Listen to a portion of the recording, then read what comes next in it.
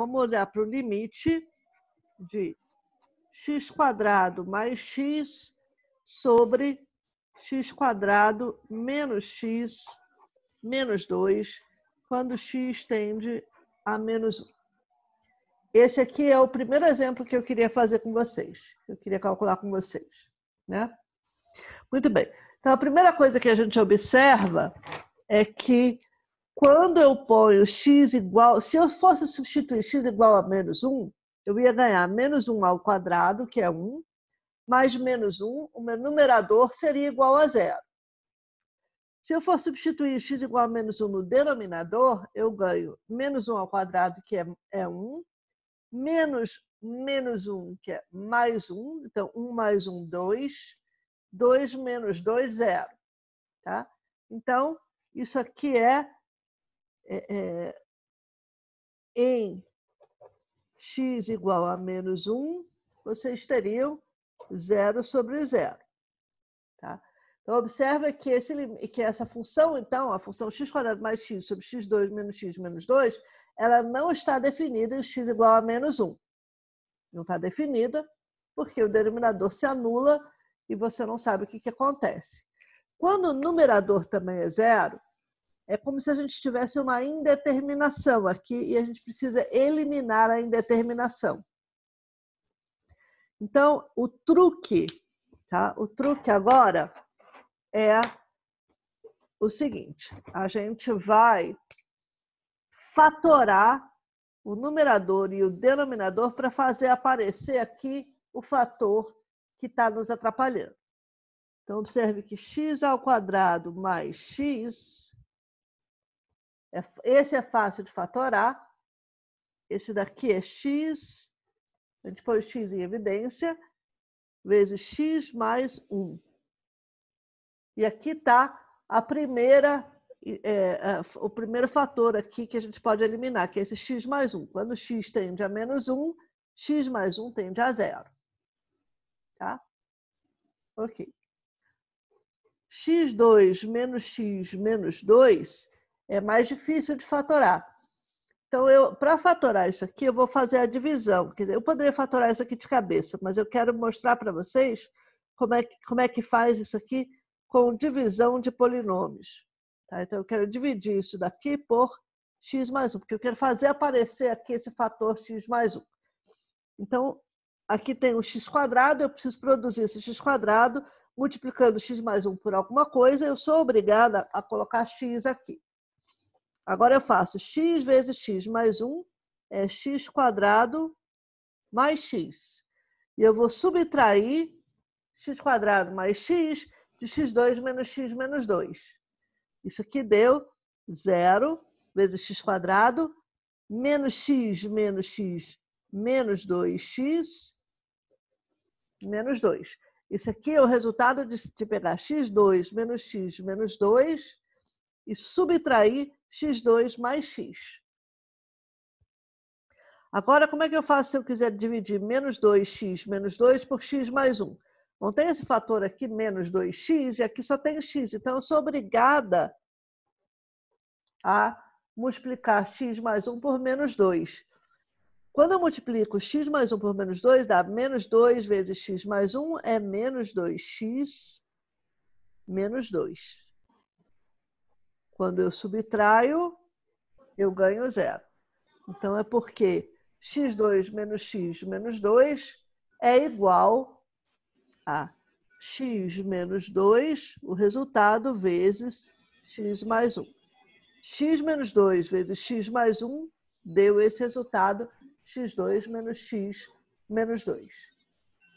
É, aqui perguntaram no chat se poderia fazer por Bhaskara nesse caso. Em outras palavras, calcular as raízes e escrever x menos raiz, x mais ra menos raiz. Sim, no caso de um polinômio quadrático, como é o caso x2 menos x menos 2, sim, você pode fazer por Bhaskara. Mas vocês vão ver que a gente vai ter polinômios, que é o próximo exemplo é um polinômio que não é quadrático. Tá? E por isso que precisa aprender. Isso aqui é o algoritmo da divisão, é como é que divide dois polinômios. Muito bem. Então, a minha função x quadrado mais x sobre x2 menos x menos 2 ela é igual a x vezes x mais 1 dividido por x menos 2 vezes x mais 1. Ok? Agora, para x diferente de menos 1, nós temos o seguinte. Se x é diferente de menos 1, a gente tem o seguinte. Eu posso calcular esses valores e eu posso cancelar, eu posso cancelar x mais 1 com x mais 1. E ganhar que isso aqui é igual a x sobre x menos 2. Em outras palavras,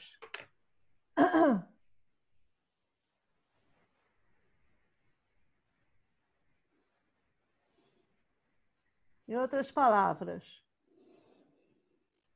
Espera que eu estou checando se tem alguém com mão levantada. Não tem ninguém com mão levantada, então tudo bem.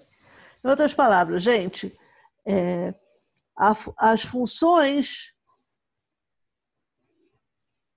Isso aqui é importantíssimo vocês entenderem. As funções x2 mais x sobre x2 menos x menos 2 e x sobre x menos 2 coincidem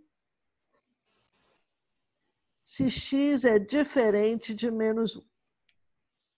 Tá? Elas coincidem nesse caso. Né? Para x igual a menos 1, elas não coincidem, porque esta não está definida e essa está. Não coincidem para x igual a menos 1. Tá? Mas, quando a gente vai calcular limite, a gente só está interessado em o que acontece perto do ponto limite e não no ponto limite. Então, moral da história, tá? O limite de x quadrado mais x, x, desculpa, sobre x2 menos x menos 2, quando x tende a menos 1, é igual ao limite de x sobre x menos 2 quando x tende a menos 1. Porque as duas funções coincidem para x diferente de menos 1. E como quando a gente calcula o limite, não interessa o que acontece no ponto, só perto do ponto, então os dois limites são o mesmo. A tendência dos valores, a tendência dos valores é a mesma. Esta função daqui é mais fácil de calcular o limite, porque essa daqui não tem mais nenhum problema em x igual a menos 1. Então, se a gente faz aquela tabelinha, como estava no vídeo, vai ficar claro que o limite dessa função é só substituir os valores que vai dar certo. Então, é menos 1 dividido por menos 1 menos 2, isso daqui deu 1 terço. Tá? Alguma pergunta? Alguma dúvida? É, estão pedindo aqui para eu repetir a divisão de polinômios. Tá? Eu vou fazer isso, mas num outro exemplo. Tá bom? Ok. Então, próximo exemplo que eu queria discutir com vocês é o seguinte. Calcule o limite de x ao cubo menos 1 sobre x à quarta menos 1 quando x tende a 1. Como é que faz essa conta? Tá? Como a gente faz essa conta daqui? Olha só. Primeira observação. Né? Observe. É, em x igual a 1, temos 1 ao cubo menos 1 é zero, 1 à quarta menos 1 também é zero. Quando você tem um polinômio que se anula num certo ponto, é, que esse ponto é raiz do polinômio, isso quer dizer que eu posso fatorar o polinômio como x menos raiz vezes um outro polinômio. Então, isso significa que eu posso dividir x ao cubo menos 1 por x menos raiz, a raiz aqui é 1, tá? E eu posso calcular também o quociente de x à quarta menos 1 dividido por x menos 1. E ambos os resultados vão dar, vão dar polinômios. Então, vamos fazer essa conta, só para a gente treinar como é que é divisão de polinômio. x ao cubo menos 1 dividido por x menos 1. Olha só, eu preciso produzir x ao cubo aqui. Então, como tem um x aqui, eu tenho que multiplicar por x quadrado, que é o único jeito de eu produzir um x ao cubo. Multiplicando x ao quadrado vezes x menos 1 dá x ao cubo menos x quadrado. Eu vou subtrair x ao cubo menos 1 menos x ao cubo menos x quadrado. Resultado, deu x ao cubo menos x ao cubo é nada. Menos menos x quadrado dá mais x ao quadrado menos 1. Esse é o resultado. Ok?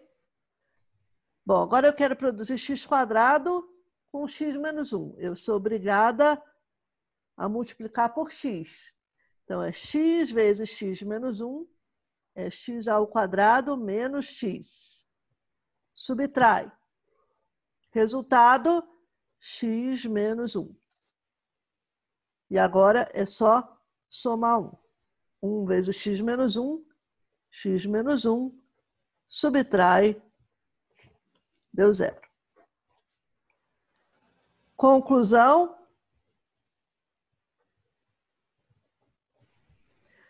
x ao cubo menos 1 é igual a x menos 1 vezes x2 mais x mais 1. Tá? x à quarta menos 1. Vamos dividir. Vamos dividir. Então, tenho x à quarta aqui, eu sou obrigada a multiplicar por x ao cubo. x ao cubo vezes x menos 1 é x à quarta menos x ao cubo. Subtrai x4 menos 1 menos x4 menos x ao cubo. Resultado deu x ao cubo menos 1. Continua. x ao cubo menos 1, eu no fundo, no fundo, eu não precisava fazer toda a conta agora, Basta observar que eu já sei que x ao cubo menos 1 dividido por x menos 1 dá esse resultado aqui. Mas tudo bem, vamos em frente. Eu vou somar aqui x quadrado, x quadrado vezes x menos 1, é x cubo menos x quadrado, subtrai, ganha x quadrado menos 1.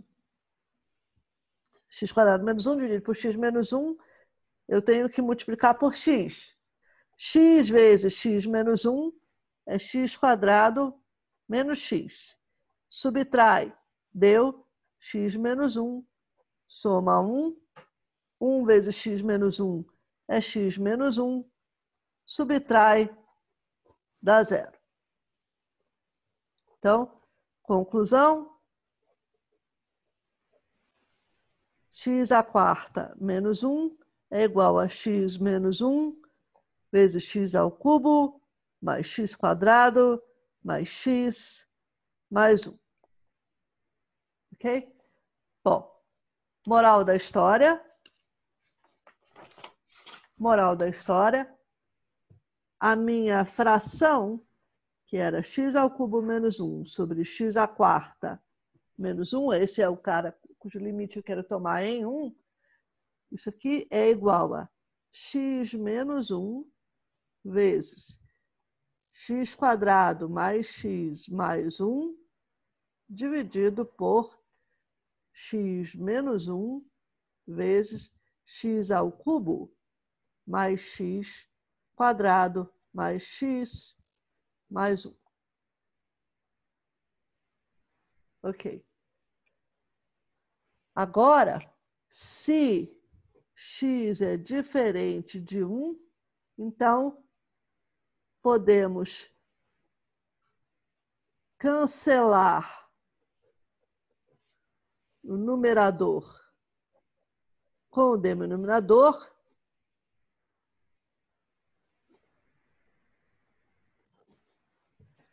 Tá? Então, se x é diferente de 1, temos o seguinte, que esse quociente x ao cubo menos 1 sobre x à quarta menos 1 fica sendo igual, depois que eu cancelei o x menos 1 em cima com x menos 1 embaixo, ficou igual a x2 mais x mais 1 sobre x3 mais x2 mais x mais 1. Ok? Veja, agora eu digo para vocês que essas duas funções, elas coincidem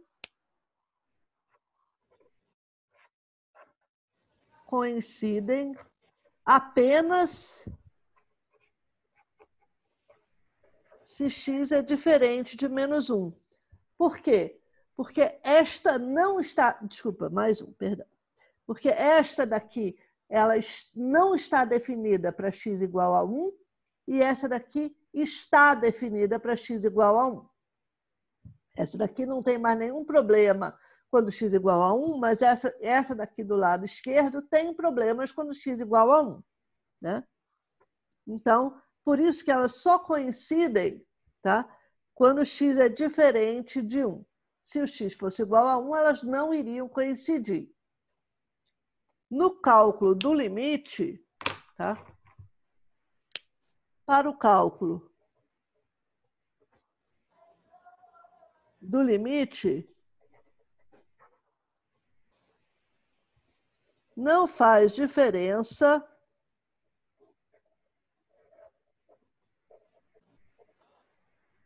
tá? se as funções diferem num único ponto. Um ponto só não faz diferença. E, e, nem mesmo se esse ponto é o ponto limite, onde eu estou querendo estudar o limite. Tá? Por quê? Porque quando a gente calcula limite, a gente só está interessado no que acontece perto, por perto do ponto limite, não no ponto limite.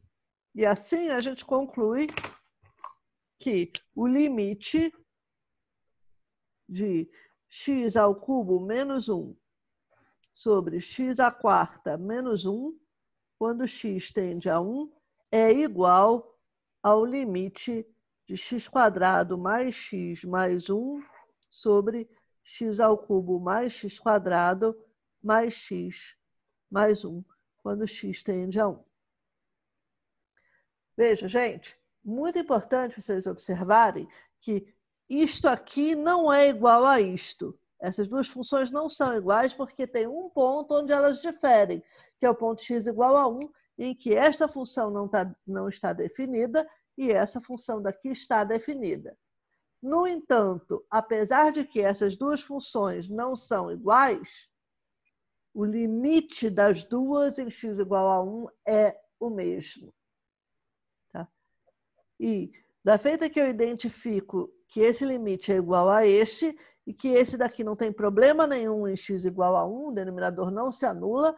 Se vocês fazem uma tabela igual à tabela que eu apresentei durante a aula, durante a videoaula gravada, então vocês vão ver que é, é, basta você substituir x igual a 1 para poder calcular o limite. Quando você substitui, você ganha 1 ao quadrado mais 1 mais 1, 3 dividida por 1 ao quadrado, mais 1 ao cubo, mais 1 ao quadrado, mais 1, mais 1. 4. Então, o limite, a resposta é, o limite é 3 quartos. Tá bom? Dúvidas? Alguém tem dúvidas?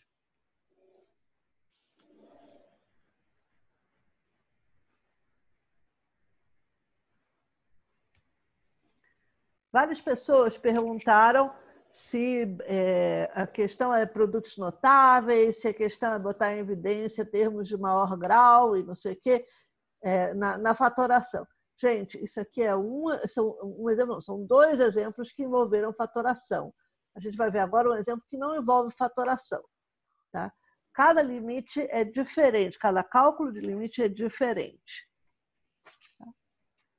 Ok. Então, vejamos agora o seguinte exemplo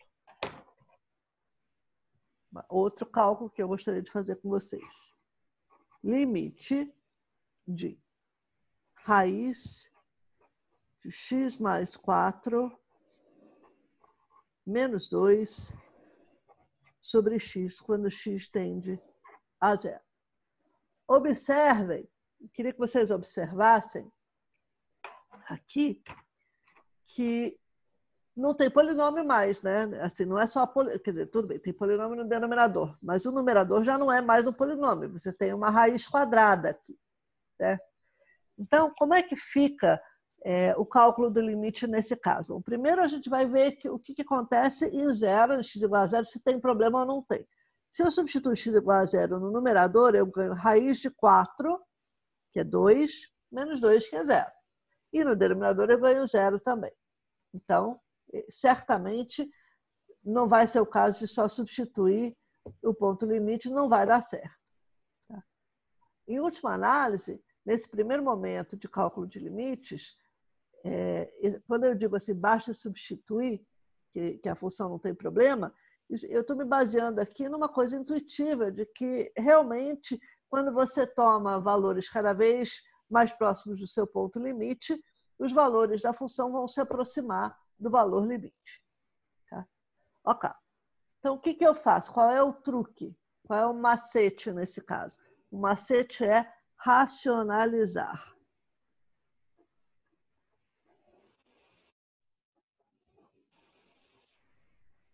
Tá? Racionalizemos. Em outras palavras, vamos eliminar essa raiz quadrada aqui, problemática do meu numerador. Para fazer isso, eu vou multiplicar essa minha fração no numerador e no denominador pelo conjugado, pelo conjugado dessa expressão. Então vamos ver como é que vai ficar isso aqui. Raiz de x mais 4 menos 2 sobre x é igual. Raiz de x mais 4 menos 2 sobre x vezes, eu vou multiplicar no numerador pelo conjugado, que é raiz de x mais 4 mais 2, dividido por, como eu multipliquei no numerador, eu sou obrigada a multiplicar pela mesma coisa no denominador para não alterar a fração. O objetivo é não alterar a fração. Então, isso aqui é alguma coisa, dividido por alguma coisa, o resultado é 1. E 1 é um resultado que você multiplica por qualquer coisa e você não altera nada. Né? O que, que acontece quando eu faço isso? Agora, esse produto aqui, eu tenho A menos B vezes A mais B, produto notável. Isso aqui é igual a A ao quadrado menos B ao quadrado. Raiz de x mais 4 ao quadrado é simplesmente x mais 4. Menos 2 ao quadrado é 4. Dividido por x, vezes 1 sobre raiz de x mais 4, mais 2. Ok? Ótimo. Isso é igual, agora, x mais 4 menos 4 é x dividido por x, vezes 1 sobre raiz de x mais 4, mais 2. Se x é diferente de zero, eu posso cancelar o x do numerador com o x do denominador. Em outras palavras, essa fração aqui é 1. Ela é igual a 1 apenas para x diferente de zero. Se o x for igual a zero, isso aqui não está definido. Então, isso daqui é igual. Olha só. Eu posso cancelar.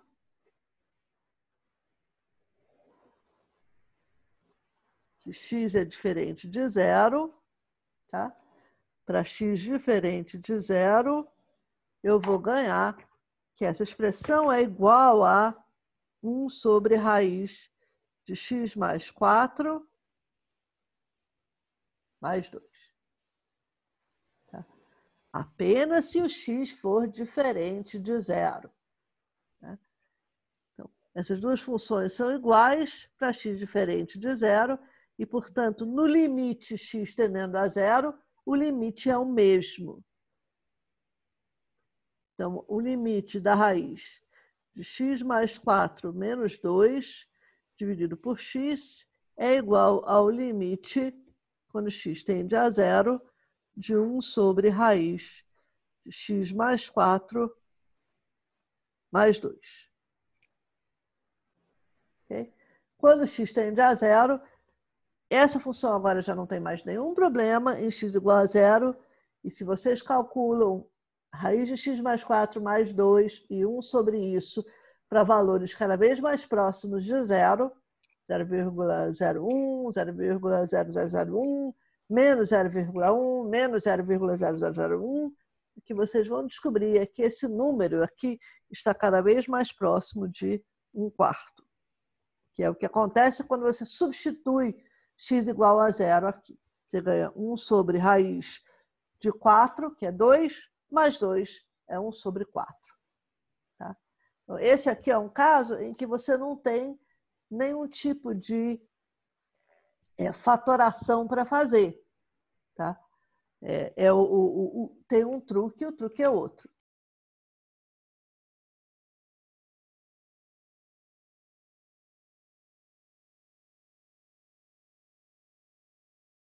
O próximo limite que eu quero calcular, o próximo exemplo que eu quero fazer com vocês é o seguinte: eu quero calcular o limite da raiz cúbica de x quadrado menos 8 mais 2 dividido por x quando x tende a zero. Okay? Aí a gente verifica o seguinte. Primeiro, se eu fosse substituir x igual a zero, o que, que eu ia ganhar? Raiz cúbica de menos 8, que é o valor de x quadrado menos 8 quando x é igual a zero, mais 2, então é raiz cúbica de menos 8 é menos 2, mais 2 dá zero, dividido por zero. Então, nós estamos mais uma daquelas situações do tipo zero sobre zero, não temos nada o que fazer nesse momento sobre isso. A gente não pode simplesmente sair substituindo. E aqui, obviamente, não tem nada para fatorar, também não. Mas tem, como no exemplo anterior, tem para racionalizar.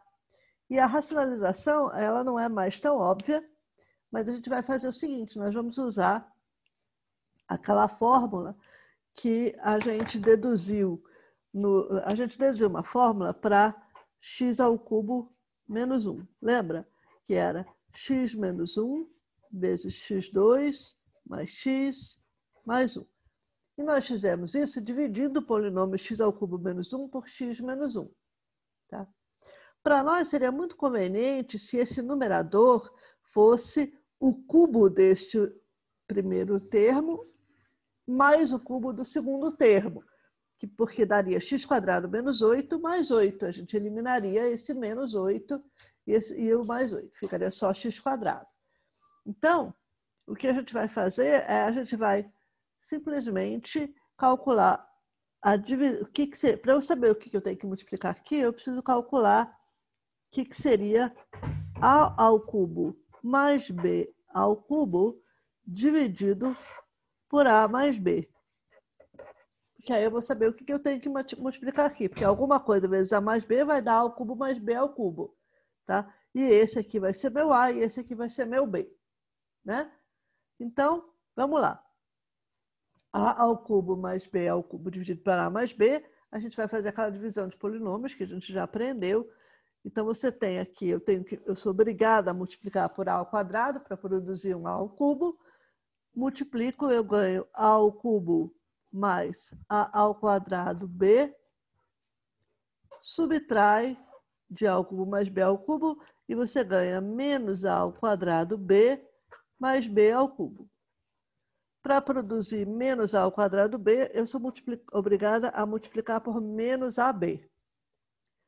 Quando eu multiplico por menos AB, eu ganho menos A ao quadrado B menos A B ao quadrado. Subtrai, você tem A B ao quadrado mais B ao cubo. É o que sobra quando você subtrai. Você faz a conta menos A ao quadrado B mais B ao cubo, menos menos a ao quadrado b menos ab ao quadrado. Dá isso. Então, agora, para produzir AB ao quadrado, considerando que eu tenho esse A aqui, eu sou obrigada a multiplicar por B ao quadrado. Quando eu faço isso, faço o produto agora, B ao quadrado vezes A mais B, é A B ao quadrado mais B ao cubo. Subtrai, resto zero. Pronto. Então, eu aprendi que A ao cubo mais B ao cubo é A mais B vezes a ao quadrado menos AB mais B ao quadrado. E eu vou querer aplicar isso com A igual a raiz cúbica de x2 menos 8 e B igual a 2. Ok? E aí, e aí então, eu tenho, é, sabendo disso, eu chego à seguinte conclusão. Então, raiz cúbica de x2 menos 8 mais 2 sobre x é igual. Eu quero produzir o cubo desse mais o cubo desse, então eu vou multiplicar pelo fator correspondente no numerador, mas eu tenho que multiplicar pelo fator correspondente no denominador também, para não alterar a minha fração. Então, está aqui, sobre x vezes, agora, eu vou colar aqui, é a ao quadrado, raiz de x2 menos 8 ao quadrado, menos a vezes b, raiz de x2 menos 8 vezes 2, né, que é o meu b, mais 4. Então, está aqui o fator que eu estava procurando, né? E agora eu tenho que dividir por raiz cúbica pela mesma coisa. Raiz cúbica de x2 menos 8 ao quadrado, menos 2, raiz cúbica de x2 menos 8, mais 4. E eu já sei que no meu numerador, o que eu vou ganhar é, é o cubo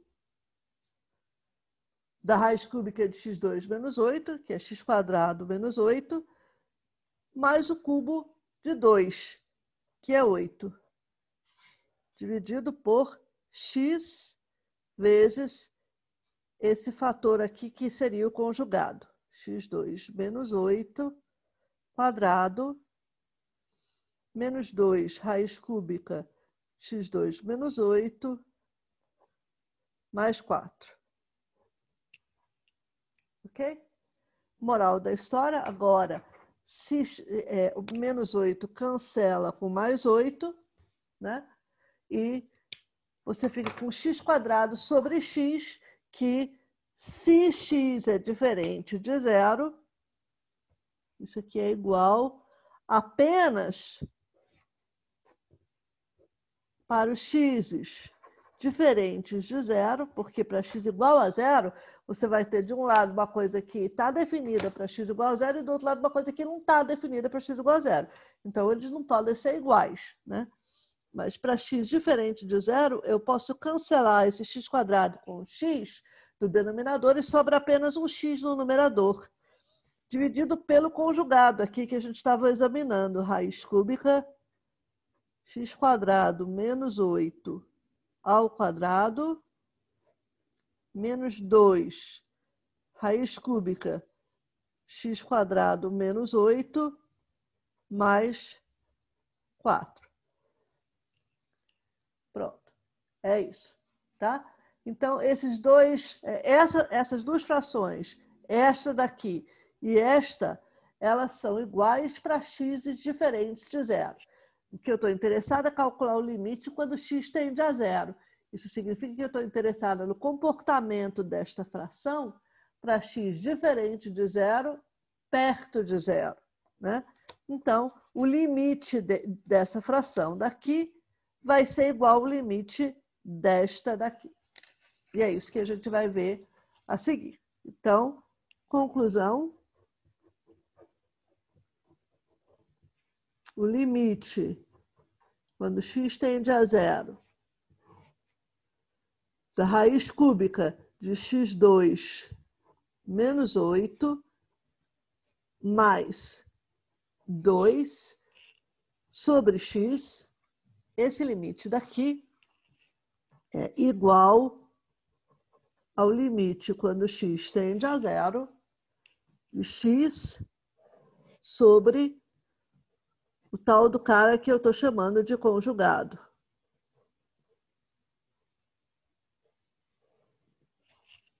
Isso daqui, menos 2 raiz cúbica de x2 menos 8, mais 4. Então, esse, o limite de raiz cúbica de x2 menos 8 mais 2 sobre x é igual ao limite, quando x tende a zero, de x sobre a raiz cúbica de x2 menos 8 ao quadrado, menos 2 raiz cúbica de x2 menos 8 mais 4. Ora, bolas, esse, esta fração daqui não tem mais problema algum quando x é igual a zero. Eu posso substituir x igual a zero à vontade aqui. O que, que eu ganho se eu substituo x igual a zero? Eu ganho zero no numerador e no denominador eu vou ganhar raiz cúbica de zero menos 8 ao quadrado. Isso aqui é, é 4, tá? é a raiz cúbica de menos 8, tudo isso ao quadrado, que é menos 2, portanto, ao quadrado é 4, tá? Menos 2 vezes essa raiz cúbica de menos 8, então é menos 2 vezes menos 2, que te dá outro 4, mais 4.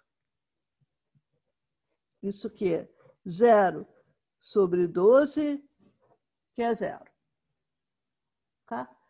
Moral da história, esse limite que eu não sabia calcular, ele é igual ao limite desta função, que está bem definida em zero e que tem um limite claro em zero. Veja, eu não justifiquei porque que o limite desta função é igual a esse, essa quantidade que basta substituir por x igual a zero. Até por, e isso parece ter contradição com tudo que eu vinha falando na aula de hoje, que a gente não quer saber de substituir, que não interessa o valor da, do, no, no ponto, da função no ponto, etc.